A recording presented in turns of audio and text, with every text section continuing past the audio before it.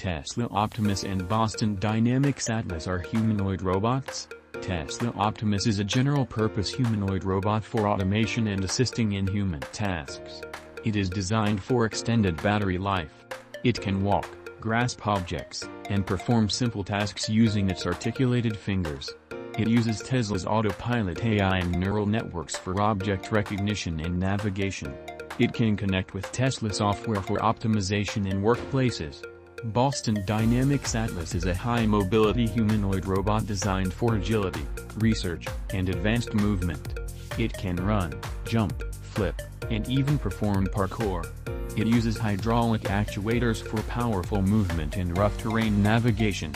It can manipulate objects, climb stairs, and recover from falls. Tesla Optimus is designed to assist in factories, homes, and daily human tasks like carrying objects, handling tools, and simple automation.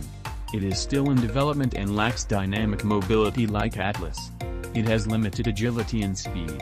It is focused on practical use cases rather than high-performance acrobatics.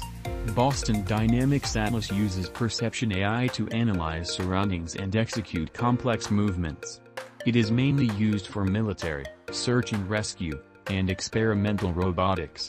It is not energy efficient. It relies on hydraulics, making it power-hungry. It is not designed for long-term repetitive tasks like Tesla Optimus. It is still not commercially available for widespread use. Optimus is better for practical, long-term use in workplaces and homes. Atlas is better for high-performance, dynamic movements but is not intended for everyday human assistance.